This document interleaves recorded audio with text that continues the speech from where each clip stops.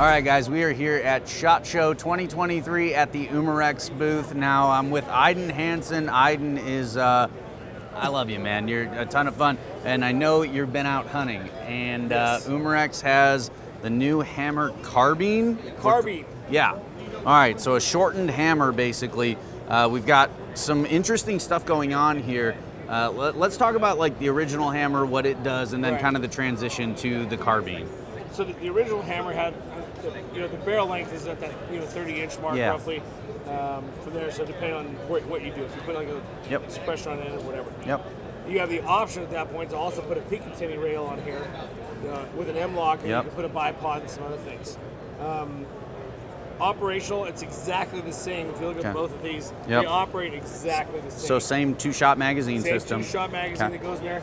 The big difference in this one is we used to get three full shots, and then that fourth shot was about 95% somewhere in that Sure. area. This one you get four, four full shots out of it. Oh, neat. And that's because I'm just from seeing it, a little bit bigger bottle. Yeah, it's a 34 cubic inch tanks on there, so. Okay. Very um, cool. So we're getting the full four out of that. Picatinny rails, everything's exactly the same. Just by holding it, if you pick up the difference It there feels really good. and aim it out, Yes, really good. balances really well. Yeah, and, and so from a power perspective, obviously we're cutting that barrel length down, so we're going to lose some, but this is still a powerhouse. I- uh, 450, 500 foot pounds somewhere in there. Right, it's, it's about the same foot pounds that we're producing there, and, and I just shot a deer with it about a week, a little over a week ago. Yeah. somewhere in that area, and um, it's no problem with the 320s. Okay. It, it can get a little angry when you start going up in the grain weight. So, Okay, got it. You know, it, if you're shooting it, it's a it's a straight up air gun. So Yeah. this thing's dumping 3,000 psi every time it pushes out of there. Yeah. But So still that Still- regulated system. still regulated system. You can count on like it's predictable for the four shots. Now, is it still a, a 4350 or a 4000 4500 psi fill, or This, are we? one, this one's like 4350. Okay, gotcha. Because All it right. changed from the tank from there. Right. This one's 4500 here, just, Right. just tank design purely. Small So difference, not a big deal, but Yeah. still regged at 3000 psi. Still rated 3000 Yeah. psi. Really cool. Uh, so it's still got the Foster fitting. You know, that's Yep. the one thing in the air gun industry. If we could just get everybody just to do the Foster. Agreed. fitting. Agreed. I got like six probes, and I'm like, yes. "God, Yes. I lose them half the time. So- is the right probe. Yep. Yeah. So same easy functioning bolt system. I, Yes. I- everything's carried over Super here. fast. So for those of you that are going to be like in a blind, you're telling me like this is money in a blind, and I believe you 100%. Oh yeah, I think Yeah. if you're in a tripod, you know, or something like that, where you don't have much space. Literally, the tripod I was in, there was an inch of space on each end. Oh If yeah. I'd have had yeah. this, I would have had the gun sticking up, and you're moving it around. The deer's going to bust you. So. Right. Perfect. All right. So hammer carbine coming to you guys soon. 50 cal. You're gonna want to check this out. You hunters out there are gonna love this thing. Uh, but Umarex isn't done. Let's uh, let's check out the Primal 20, my Yeah, friend. the Primal 20. I think you might have had some experience with that. yes, yes, just a little. a little jealous. and again, I don't always get to shoot everything first, so. But we got we got the 20 here. We got a Delrin magazine. Yep. It's a two-shot magazine. Yes. Uh, you'll notice the port in the back is smaller than what the port in the front is. You can either shoot a, a 20 gauge shotgun shell. We Yep. give you. We have a, uh, a shot cup that will actually be placed in here. And you can fill it up with your shot depending on what you want. Nice. And then put a little cap on top of that, and it should be good to go. So. Yep. So, so this shuttle system here is not auto indexing, right? It's you have to. auto-indexing. So you cock the you cock it back, and it's got this little button on the side here, and you push this over. Uh, but it's really simple. Right. Like in the field, it's so quick um, because your hand's already right there. So you just press it, press it over, and you're good to go. Uh, it's sealed internally here. Uh, this gun produces about 400 foot pounds if memory serves. Right, With with the right. um, uh, they're like a a saboted slug looking thing. It's a little weird to Yeah, describe. it's, it's kind of like a. Uh, it's like a shotgun cup on the back. Yeah. On the back of a bull, but it's a it's a 62 caliber. yeah, it's a I mean, monster. so if you yeah. think size wise, it's a 62 caliber and, and, and it's punching big holes. Yeah, it's punching punching and big and holes. it's like a 4,000 psi fill. Is that a, is that Yeah, I think this is a 4,000 psi fill All right, uh, on the tank, and yeah. so. But I mean, the volume. If you look at the volume on Yeah, it's big. It's quite large. Yeah. The uh, the one thing I was going to tell you on this, when you use this, so for the users when they get out there, just a just a quick mental note for them. So once it's in place, once you start it over, once it breaks loose, if you let go, it'll automatically stop when you get to that point. Yeah, it's nice. just kind of a detent. it's a D10. D10's in. That's it. Yeah, and and the uh, so the bolt handle here uh, is really beefy, but can actually be flipped over to the other Right. side, right? Ambidextrous. Yeah, so for you lefties out there, Umarex isn't leaving you guys out. This is going to be really handy in the field. You got a full pick rail uh, for your optics. You know, it, obviously maybe not going to be using optics if you're shooting Right. the shot shells, um, but well, heck, heck, if you're after turkeys, you're definitely using optics. Right, you can use like a red dot on it or something like Yeah. that. And- You eh. know, one of the things for me, like Yeah. we talk about the ambidextrous side for the cocking, the uh, charging Yeah. lever. Sometimes I forget to charge it, and I go to take the shot. And I'm like nothing. I like the left-hand charging side because I grab it while my right hand's Yep. on it, ready to shoot. Yep. All you gotta do is if you're in that position already and you're here, you just reach up, boom, and cock it. Yep. So you don't have to take your hand off of here. You can cock it, be right back on it. Yeah, no, that, So- that's a good point. And so the chokes, um, so it's going to come with a rifled choke, correct? Correct. So All it's right. got a rifle choke in there, and it's that, that last part. So it's smooth bore all the way down We have the choke at the end. It rifles it and Yep. stabilizes it. And it's it's pretty darn accurate with those slugs, guys. At, at range day last year, we were shooting 100 yard shots with. Yeah, which is this thing's going to be more than capable uh, of some decent distance hunting. Now, with the shot shells, I know those are newer. Uh, we hadn't seen those before, so uh, you're going to have to change out that choke. It's not going to come with one, right? Uh, or is, like for the for the shells. Oh, for the shell, you know, for the shell portion of it. Yeah. Um, no, I, I actually shoot with it in and without. Oh, okay, all I right. mean, you, you can. It'll I start to rotate it, but Oh, so you don't have to change the choke, I guess. is- you don't technically have to change Okay, the choke got if, it. You don't, if you don't want to, because it'll stay inside the cup, and when it engages the rifling, it might put a little bit of a spin on it, but Sure. technically it's not going to throw your, your shot pattern Okay, and stuff okay. But this it, is so- threaded the same way any of your 20 gauge shotgun Right. barrels are going to be. So if you do have a choke that you prefer or something like that, for depending Right. on what shell You setup you do. out. Yeah, and these shells are going to be you're going to be able to fill them yourselves, which I think is really cool. Uh, you're going to give everybody the ability. So whether you're going, you know, you need that Threes, smaller shot, sixes, eights, whatever right? you want. Whatever you need, BBs. You know. Maybe you got a rattlesnake in the yard. You have BBs. Oh, Yeah. I Oh, mean, what you can buy BBs. So Yeah. if you got extra BBs laying around the house, dump them in there and fill them up. Yeah, so no problem if you if you have like you can't use lead shot, you need tungsten or something like that. Right. It's it's all going to be at your fingertips. You do what you want to do with it, which I think is really really sweet. Um, so the Primal 20, it's actually on the website right now. You can pre-order it. Go check it out. This thing is badass. You guys are going to love it. Uh, You guys, you better pre-order. I'm telling you, because this is one of those things that go, oh, oh my gosh, it's a freaking air gun. Well, shooting a 62 caliber for going out and hunting. Yeah. I mean, that's punching a big hole. it's whammy. Yeah, I actually took a, uh, a, a red deer, a, a hind, a female red deer. Respectable. Yeah, Very like a 400 pound animal. This thing was monstrous, just double lunged her, and uh, she went about 30 yards and toppled over. Wow, I mean, that's you know, amazing. yeah, this thing's a monster. So check it out on the website now. Iden, let's see what else you guys got. All right, Iden. So this is a new break barrel, but not just any break barrel from Umarex. Uh, this is the Emerge. Tell us about it. It's the Emerge, so it's a, it's a uh, 22 caliber, and uh, it actually comes at 22 and 17. Yep. And so what's nice about it, you load it once, shoot it, shoot it 12 times. Yeah, you got a magazine you got a on magazine there. on it. So it's kind of, and the way that the magazine operates, you can actually, when we just, we, if, every time that you cock the gun, you know, we break the barrel here and we cock it. Yep. It'll automatically index the magazine to go through there. So that right there for me is, is a touchdown because the break barrels tend to be, you have to have the dexterity if it's cold outside. Get or those- your fingers aren't as nimble to try to put it in there. Yeah. This is easy. You can load up a couple magazines, throw it on there, Yep. and I call this like you know, kind of the gun you keep in the closet, like, oh, there's a squirrel or a raccoon or a, Bingo. you know, something tearing up the garden or whatever it is, you can Yep. send it outside and take care of it. So, Yeah, and you still got a lot of Umarex's hallmark features here. I believe it's still SilencAir stuff here going Yes. on, uh, but you do have open sights as well. I know that's something a lot of you guys out there want. You know, you see a lot of these multi-shot break barrels that don't have open sights. You have to go with the scope. This one's got the open sights, fiber optics, if you want to go that route, but a pick rail at the back for the scope. Um, yeah, I mean, this thing's got a lot going for it for a pretty low price. yeah, for the, yeah, the Yeah. price is low on it. And, uh, you know, I, I think from, from this gun here, like, I got a lot of folks who are like, I just need a gun, but I don't have anything to charge it with. Yeah, right. I'm like, here it is. There you go, break barrel You done. Load it, load it once, and you got it do whatever you need. Because sometimes, like you just have it sitting around until something pops up. You know, maybe squirrel in the garden tearing everything up, Yep. or raccoons outside doing getting in the trash or something like that. But yeah, it's it's a really nice gun. It shoots good. It's gas piston, Yep. So I mean, it's got a nice sound to it. Yeah, we've actually got these on the website now too. We had already a shipment come in, so uh, they may very well be in stock right now if you want to go pick it up if you're looking for a new multi-shot barrel. So Iden, uh, the Notos was announced last year, um, and and to a lot of fanfare, and we actually just had a shipment come in, sold out in under a day. So uh, if you're pining for one of these, well, you should be pining for one of these because this is a sick carbine. Uh, but you can also run it as a pistol. Uh, run us through some of the features for the folks at home. So Picatinny rail up on top. It's a left-handed cocking feature from here. Yep. Pull it down, and we have a teardrop shaped left-hand load magazine. Yep. Holds seven in there, and it's and it's 22 caliber. Yep. Easily going to be the gun of the year.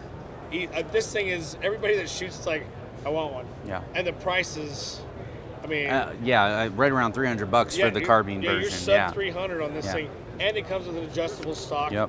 You know, for an extra 10 bucks, you can get the pistol grips for Yep. it. And you can also get the open sights that you can throw on it as Right. well. So th- there's a lot of stuff going on here. Uh, regulated, correct?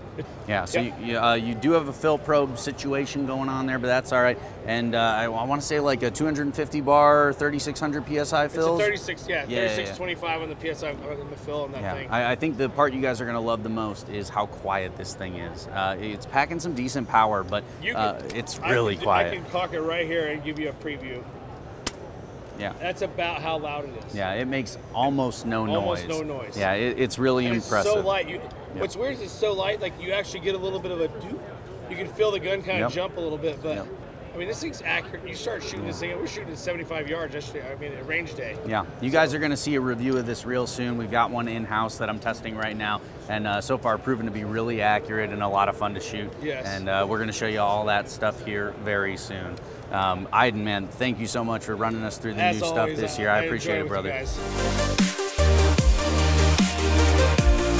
How's it going, guys? I'm Nace with Barra Air Guns. We're going to be going over a couple new items and some things coming out um, within our company this year. We're going to start off here with the 1866 CO2 version. It's going to be available in silver, black, and gold. Um, this is CO2 powered, so you're going to load your CO2 in the back, um, lever action just like you would. It's going to eject those shells, shoot pellets. Uh, we're going to offer this in 22 caliber as well as 177, and um, we have smoothbore and rifled barrel will be optional within um, whichever you decide. So the 1866 uh, CO2 series is part of our Cowboy series, which um, along with that series is our Schofield number three. We have this available in a five inch and a seven inch in three different variants. That's going to be aged, gunmetal, and chrome. Um, the West, the Wells Fargo edition is our five inch. Um, this Schofield um, operates just as a regular Schofield would. Um, something new that we're doing with it this year is that we're going to offer a rifled barrel and another caliber, which would be 22 caliber. So you'll be those guys that want more precision, accuracy. They'll be able to fire that Schofield um, with pellets and have more accurate uh, shooting with the, with the Schofield. So this is the Barra 400E. Um, this is the first ever all-electric platform shooting 177. Um, this is just an awesome all-around gun. It feels just like a regular AR platform. Like you take it out on the range, and someone would. A lot of guys that come into our booth are like, "I didn't realize that was an air gun." So it's just a really cool option for maybe the kids or someone to pick up and be able to go out and shoot.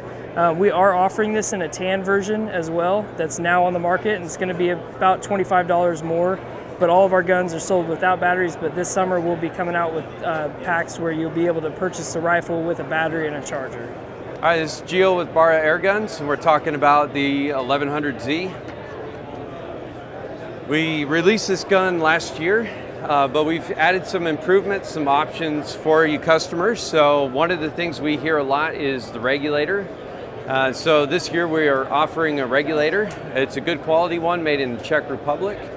To go along with that regulator and the idea of being able to customize your PCP, we're also offering a 22 inch barrel option we're also offering a three inch longer air tube. So you'll be able to order this directly from us, kind of pick out what you want. Do you want a longer barrel? Do you want a regulator?